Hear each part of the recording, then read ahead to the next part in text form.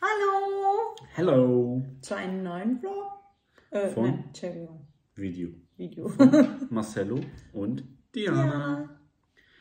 Also, wollen wir im Grunde genommen gleich im Anschluss daran anknüpfen, was wir letztes Mal gesagt haben? Oder? Also das, wir, also es ist auf jeden Fall Part 2 von Part Mhm. 1. Ne? Macht Sinn, ne? Erst kommt Part 1, dann kommt 2. Genau. Wenn du also noch nicht Part 1 gesehen hast, dann ähm, geh hier nochmal kurz raus schnell. Und guck nochmal schnell Part 1. Ja, willst du anfangen? Ja, also. Okay, dann fange ich mal an. Also wir haben ja in unserem letzten Video erzählt, haben wir kurz erzählt, warte mal kurz, wir haben, ja, also wir waren da stehen geblieben, wir Das ich habe Date. gezahlt. Ich habe gezahlt und dann waren wir stehen geblieben. Ja. Und dass, äh, dass seit diesem Tag wir keinen Tag hatten, wo wir uns nicht geschrieben haben und Ja. uns nicht gesehen haben. Auch, wenn auch nicht ähm, persönlich, FaceTime. Ja. Das haben, hatten wir am, äh, am Ende des letzten Videos gesagt. Genau, Und dann kam halt eine genau. sehr schwierige Zeit, sag ich mal. Ja, fangen wir mal an, oder? Ja. Also es war so, ähm, ich bin zum MRT gegangen und hat, musste mich abchecken lassen. Wegen gewissen Sachen, die ich gespürt habe und ich hatte extreme Kopfschmerzen und und. Auf jeden Fall bin ich zum MRT. Äh, Marcel hat mich hingefahren. Bin ich hingegangen, okay, hab alles gemacht, dies und das. Okay, fertig. Bin wieder raus. Marcel hat saß mich bei mir noch nicht drei Minuten im Auto und ich habe mir Wir diesen ganzen Tag anders ne? vorgestellt. Eine Sache, die wir seitdem noch nie gemacht haben, die wir immer mal machen wollten, war in den Zoo gehen. Und wir wollten genau an diesem Tag in den Zoo. Und ja, nicht lachen, ja. Wir gucken, gehen gerne in den Zoo Ich eigentlich. liebe es ins Zoo. So, auf jeden Fall, wir wollten an dem Tag in den Zoo gehen. Und ja, dann hat sie einen Anruf vom Arzt bekommen. Ich war drei Minuten im Auto, ja. Wir, wir sind losgefahren. Ja, es war noch so Leopoldplatz da. Ich bin losgefahren und dann auf einmal ich sehe einen Anruf. Ich hatte so ein komisches Gefühl, ne? Und dann hat mich, hab, bin ich rangegangen und dann ähm, habe ich gesagt, hallo, ja, diese, meint ja, der Arzt möchte mit Ihnen sprechen, kommen Sie bitte wieder. Können Sie wiederkommen? Wo sind Sie schon weit? Ich meine, nein, ich bin nicht weit. Okay, ich kann wiederkommen. Okay. wir mal gesagt, wir wären in Finnland, ja. Das, nein, ich will gerade Nein, raus. Spaß beiseite. Ja, und dann auf jeden Fall bin ich wieder zurück. Ja, und ich hatte einfach dieses Gefühl. Ja. Ich schwör's dir, als ob so Gott das so mir ins mein, in meinen Kopf ge, gesteckt hat. Ich, wo ich da unter diesem Gerät war, ne, MRT-Gerät, ich hatte einfach so dieses Gefühl, Da ist was. irgendwas ist. Das kann nicht irgend nichts sein. Ich hatte einfach dieses Gefühl. Auf jeden Fall kam ich wieder zurück, sprach mit mir der Arzt und meinte zu mir, ja, Sie müssen sofort ins Krankenhaus. Wie sofort ins Krankenhaus? Ja, Sofort, sofort. Ja, aufgrund, sofort, der, sofort. aufgrund der medizinischen Notwendigkeit. Also es war halt auch nicht mehr die Option, Familie darauf vorzubereiten oder eine Tasche zu packen. Also wir können, ihr werdet gleich im weiteren Verlauf merken, dass für all dies alles keine Zeit mehr war. Ja, ähm, ja was haben wir im Grunde genommen im Anschluss gemacht? Wir sind ins Krankenhaus gegangen. Ja. Ja. So, dort war das Hatte keine Wahl. Ne? Wir sind da so hingegangen, voll. Wir haben gewartet, gewartet, gewartet. haben auch sogar Videos. haben Videos gemacht, ja. Ähm, und wie lange kannten wir uns zu dem Zeitpunkt? Ähm, ich bin ins, also wo das rausgekommen ist, war es der 11.10. Wir kannten uns Knapp zwei, ja, ja, Sechs bis sechs, acht Wochen. sechs bis acht Wochen, ja, zwei Monate fast. Knapp zwei Monate. Ja, und dann hat sie, wie gesagt, die besagte Nachricht bekommen. Wir waren im Krankenhaus gewesen und wir haben schon hin und her diskutiert. Weil sie musste ja wenigstens ein paar Sachen im Krankenhaus haben. Und dann hieß es am Anfang, ja, Ja, nach, Lassen nach Sie mal OP, Ihre Eltern, Genau, lassen Sie mal Ihre Eltern kommen. Und ja, ich dann so, oder ihre Sachen herholen. Und so. Ich sag so, wie bitte? denn? Keiner kann mir meine Sachen packen. Und so, ich musste nach Hause und so. Und dann, Und ja, wir dürfen nicht vergessen, bei der ganzen Thematik, zu diesem Zeitpunkt habe ich ihre Eltern noch nicht gekannt. ja.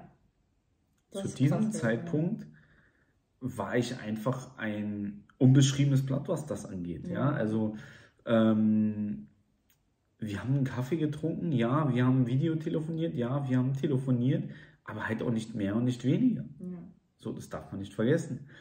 Und ja, dann saßen wir da im Krankenhaus und dann konnte ich sie natürlich auch nicht allein lassen. Ja, sowas macht man nicht. So, und ich habe diesen Menschen natürlich auch mega lieb gewonnen. Und dieser Mensch steht jetzt einfach vor einer Entscheidung, die er zu treffen hat, weil die medizinische Notwendigkeit einfach nichts anderes zulässt. Und das war einfach die Operation. Die Operation sehr, sehr zeitnah. So, was ist also passiert? Ich hatte, ich hatte eigentlich am nächsten Tag Dienst, das habe ich noch alles hingekriegt, das konnte ich noch abwälzen und habe dann mit meinem Chef telefoniert. Das hat alles wunderbar geklappt, konnte also auch für sie da sein. Aber Der wir Arzt sind. meinte neun Tage. Auf, ab, weg und zu. Genau. Neun Tage. Also im Grunde genommen OP und das war's. Ja? Also im Endeffekt ist es weitaus länger geworden. Werdet ihr im weiteren Verlauf auf jeden Fall mitbekommen.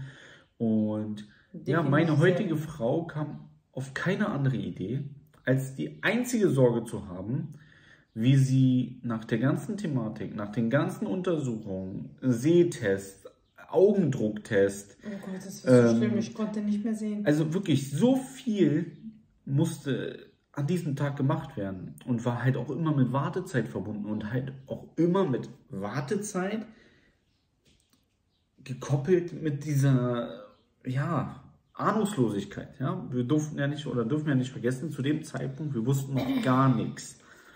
Ähm, außer dass halt dort am Kopf etwas sei. Und ja, was passiert? Meine Frau, meine heutige Frau, hatte eine Sorge. Und die wäre? Ein Friseur aufzusuchen. Das hat einen Grund. Frage, waren nein. wir beim Friseur, ja oder nein? Ja, aber äh, zu meiner, zu meiner Verteidigung, ja, muss man kurz was erklären. Also, ich habe Locken. Ich habe richtige, richtige krasse Lockenmähne, ja. Und der Arzt meinte, ja, ich muss da operiert werden, hat mir alles gezeigt und alles Mögliche. Und ich habe Locken und ich weiß ganz genau, das wäre noch schlimmer passiert, wenn ich es dabei belasse, Locken zu haben und die OP zu machen. Dann dachte ich mir, ich habe keine Kraft, keine Nerven, keine Lust, jetzt meine Haare irgendwie nach Hause zu gehen, waschen. Ich durfte auch gar nicht mal nach Hause eigentlich. Und dann habe ich gesagt, ja, dann gehe ich mal ganz, ganz schnell zum Friseur und mache meine Haare glatt, weil für die OP. Und wie so ein Mann halt denkt, ja gut, alles klar, 15 Minuten rein, raus, Mickey Maus, ja. Aber bei so einer Frau dauert das ja irgendwie echt lange, ja. Also ja, habe ich mal mitbekommen. Lange. Wie lange waren wir da? 45 Minuten, 60 Minuten? Ja, aber wir haben auch gequatscht ein bisschen. Ja, aber das Ganze, wie gesagt, alle Friseurläden schließen gefühlt um 19 Uhr, ja, und nehmen keine Frauen mehr vor 18 Uhr an. Äh, nach 18 Uhr, Entschuldigung. Ja, auf jeden Fall haben wir einen Friseurladen gefunden. Sie war beim Friseur. Ich habe sie dann zurück zum Krankenhaus gebracht. Ähm, Tasche kurz gepackt.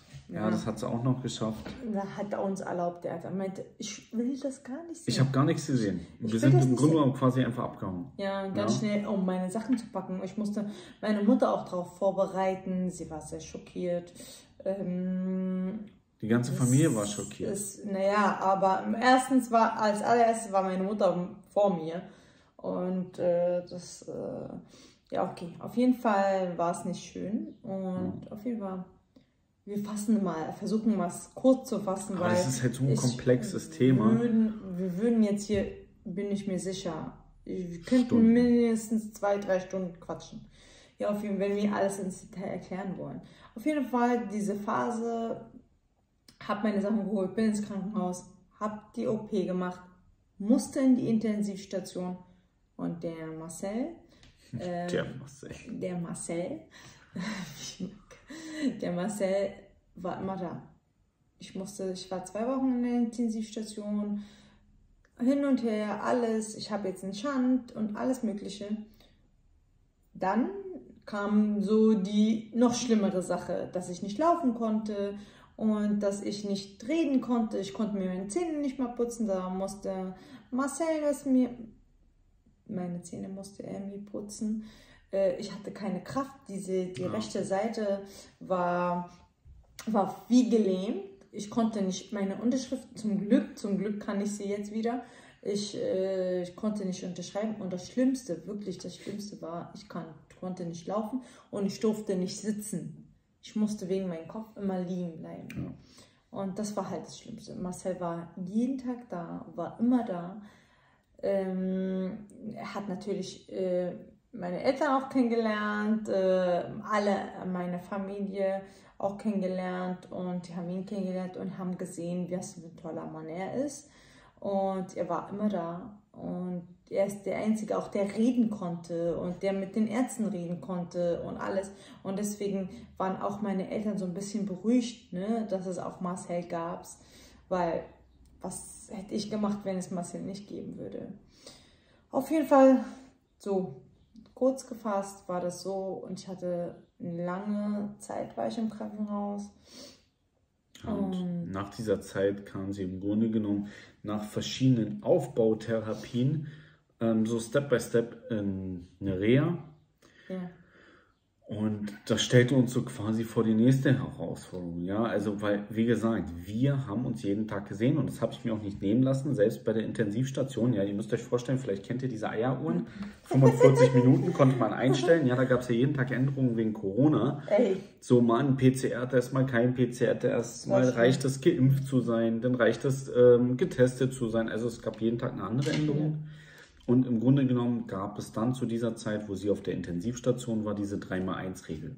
Eine Person pro Tag, eine Person pro Tag, eine Stunde. Und was mache ich? Ja, ich bin eine Person, ja, okay, pro Tag, okay. Ich drehe einfach die Eieruhr. Ja, ich habe einfach immer zurückgestellt. Und irgendwann kam die Pflegerin und meinte so, sagen Sie mal, also irgendwie klingelt die nicht. Ich meinte, naja, vielleicht ist sie kaputt oder so, keine Ahnung. Ja, auf das jeden war Fall. auch schön. Äh, naja, ähm, ich habe ja auch am Anfang habe ich ja am Anfang habe ich ja auch geschlafen viel. Ne? Ja. Ich war nicht bei Bewusstsein. Ähm, auf jeden Fall. Wir haben diese Phase überstanden. Ja, überstanden. Ich war in der Reha. Ich musste lernen, wieder zu laufen, alles Mögliche. Ne? Das, ist, ja. das kann man sich gar nicht vorstellen, dass ich, ich renne, ich laufe jetzt, ich mache alles wenn ich kann alles springen, ne? Da das das ich war. springen? Das war unmöglich, ne? Also unvorstellbar. Auf jeden Fall war ich in der Reha und ich habe mich verbessert und und und. Ähm, so kurz gefasst, ne? So kurz und, wie möglich. Ja, weil es sind schon 13 Minuten, ne? Sag doch, wir könnten hier noch stundenlang reden. Und wenn ich alles ins Detail erklären will, ey, wirklich. Auf jeden Fall war Marcel da. Und Marcel war jeden Tag da. Jeden Tag. Ich schwöre es euch, wenn jemand so einen Menschen hat, der soll es mir bitte sagen. Ich freue mich um Leben und Tod für ihn. Ja, aber ein Menschen, der jeden Tag, jeden Tag, egal wo du bist, ich war in der Rehe in Brandenburg, ja, äh, egal wo du bist, zwei Stunden hin, zwei Stunden zurück und immer da war, das ist äh, das Schönste, was es gibt, so einen Mann zu haben. Auf jeden Fall ja, das ja. war. Nach dann, dieser ganzen Krankenhaus-Reha-Geschichte, ja, die, wie gesagt, genau. völlig ins Detail gehen kann, haben wir dann ähm, ja, das Schönste gemacht, was man so einem Paar wünschen kann. Ähm, wir haben geheiratet. Wir haben islamisch, islamisch. geheiratet. Ja. Warum, wieso, weshalb? Also, ja. Warum, wieso, was? Warum möchte ich geheiratet? Ja, erklär ja. mal. Erzähl mal. Ich bin's ja wohl. Nein, allein schon meine Familie, meine Mama und so hatten übertrieben Angst, dass ich einen Deutschen heirate und alles Mögliche.